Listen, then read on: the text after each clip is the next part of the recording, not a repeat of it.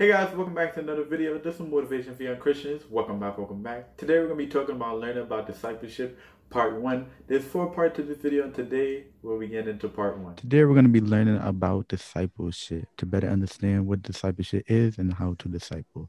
Here we have our leaders today. Leaders, please introduce yourself by stating your name, the church you attend, the position you currently hold in the church and how long you have held that position. Hi, hello. So my name is Michelle Allen and I'm the associate pastor of Life Center Church God of Prophecy in the Bronx. Um, and I've held that position for a little over a year now.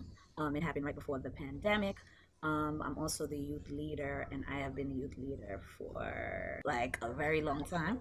Um, but I am looking forward to just pass the baton on to the next generation. Amen.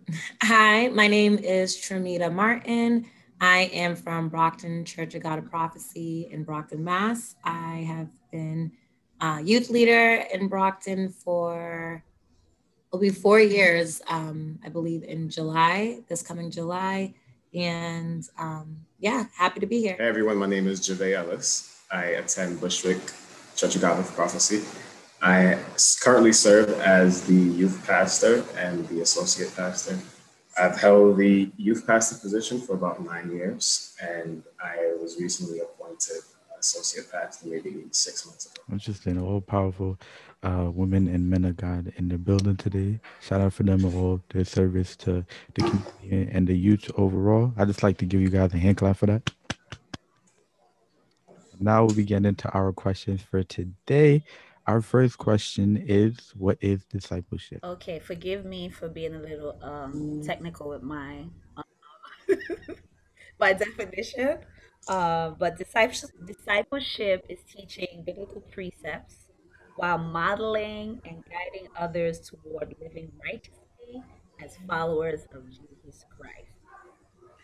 So I'm just going to stop there because I know we're going to go a little bit more in depth. So let's hear what everybody else has. Okay. Um, I believe discipleship is exactly what um, Sister Michelle just said as well too. Basically, being uh, good stewards and allowing others to uh, learn from you, and by leading others um, and trying to have more people come to God by showing you know what you do as a person and how you live your life. So basically, um, just teaching the word of God is what I would say discipleship is. Yeah, um, totally agree. I, I, and I would say discipleship is becoming and uh, progressively becoming more like Christ. Right?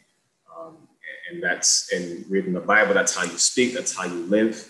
But it's it's something that's progressive. It's not a one-time thing. It's an ongoing process. And you know, the word that really speaks to me is becoming, right? and becoming more like Christ. Amen. Becoming more like Christ.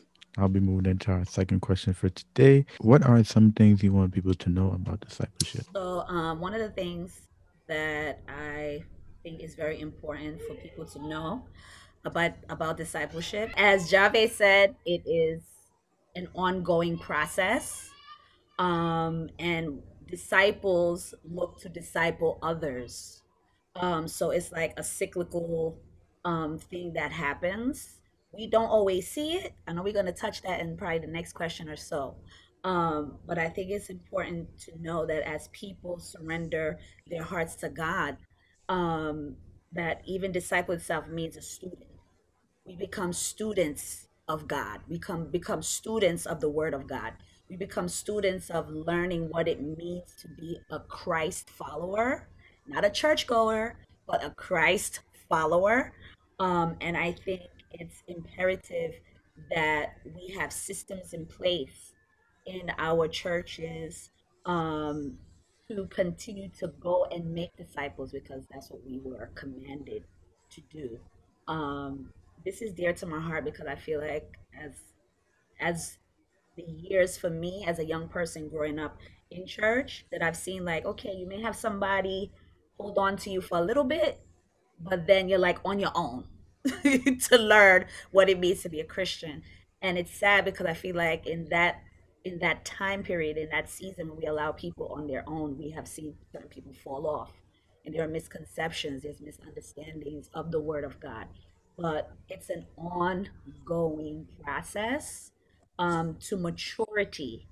Um, and as we mature, then that person looks for someone to disciple. So it, it's a lot, but the consistency is needed. I agree. I especially agree with the um, the end of the, what you were saying about um, you know consistency and basically you know being able to in another word i would say almost like mentor you know have mentors and mentees and i think that's very important because um, like sister michelle was saying or pastor michelle better yet.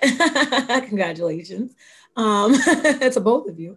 Um, you know you start to disciple and you start to teach others the word and teach others the way god wants you to live your life and whatnot but then you kind of you know you don't continue on with that person and it's not consistent. And even if you're not able to continue on with them it's always good to know who can continue on with them who you can kind of pass the torch to um, when it comes to being a disciple. And we're all disciples you know every single one of us. So people seem to think that to be a disciple you have to do something special. No, like we're all disciples of God. You know, we are supposed to share his word and do our best to um, get others to follow and just lead by example, of course. And so that's, um, I think that kind of goes into the third question that we have about misconceptions about discipleship, but I'll touch on that a little bit more later. But um, the main thing I want uh, people to know about discipleship is that, you know, we are all disciples and that you have to be consistent and you also have to make sure that you're not just saying things, but you're actually showing those actions as well too. Because to be a good disciple, you have to have um, make sure your faith shines through and that you're a good example and a good leader as well. Yeah, to- totally agree. And I'm, I hope I can keep this answer short because I, I, agree, you know, with Pastor Michelle about um, the consistency and the need for us to kind of get back to um, discipling. Um, first, I'll say discipleship is something that requires your participation. That's one part of it. The other side is those that are looking to disciple. Um, and I believe Pastor Michelle touched on it. You can't disciple unless you have been discipled, right? And so, yes, it is a cyclical process. And I agree with Tremeda. We are all commanded to disciple, right? If we go to Matthew 28, we look at the Great Commission. We are all called to be a part of that. That's not something that is reserved for pastors, ministers, deacons, you know, youth leaders. Esron, you know, even you in being 17, right? We're all called to be a part of this ongoing process of becoming like Christ, right? Matthew 28 says, um, Go ye therefore, right? And teach all nations. It's for everybody. No one's left out, right? Go ye therefore and teach all nations, teaching them to observe whatsoever I have commanded you, right? So it's something that we all have to participate in. I think the church needs to get back to being consistent in discipling. I think a lot of the times, you know, I'm not bashing the church by no means, right? But there's always room for improvement. I think a lot of times we're so concerned with the soul and winning the soul. And once we have won the soul, we sometimes forget about that soul, right? And hence what happens is that person being a newborn in Christ, they kind of fall back to the things that um, had them bound before, right? Because they have no one to walk with them, right? Um, so when, when someone comes to Christ, there needs to be, I won't say a system in place, but there needs to be some sort of ongoing discipleship, someone that will hold their hand until they learn, they, excuse me, until they learn to walk on their own, until they mature in Christ, right? Until they can get into what this thing is about, this life is about, right? And we need somebody to hold their hand. And that's done through mentorship, right? And I remember back in the day, the church used to have, I'm not sure what, Tremeda, what your church used to call it, show, what your church used to call it, but Bushwick used to call it cell groups, right? And essentially those were small discipleship groups where they would meet in, you know, individuals' home and it would be a small group where you can grow together, you can ask questions. And I believe that the church has to somewhat adopt um, kind of that system again or that mentality again, right? Because um, this discipleship is is most effective, especially for young people, in smaller group settings, right? Two, you know, three, four, five people. You can really touch that person, really understand where they are, where they want to be, right? And then you can um, minister to them accordingly because you know what their needs are. So, you know, we have to get that back um, into our churches on a consistent basis. That's very important. And shout out to Brother Jave and Brother Gio. Those are my two mentors slash big brother. And they've been on this journey with me. They be holding my hands even when I don't want them to hold my hands. They they be they be with me throughout the way. And I'm so blessed because I had that discipleship. I have those two guiding me along the way. And then I I, I think of it as like imagine if I didn't have Gio and Jave with me along this journey Ooh, some some some a lot of I know a lot of stuff could have went left. A lot of bad things could have happened if I didn't have them. And I'm so blessed. Mm. And I always make sure that I thank them for it. And I just want that for everybody else. Thank you guys so much for being a part of the video. Thank you guys so much for watching this video. If you haven't already, please like, subscribe. Please turn on your post notification. That way, anytime I upload, YouTube will send you notification. I'll see you guys next week in part two of learning about discipleship.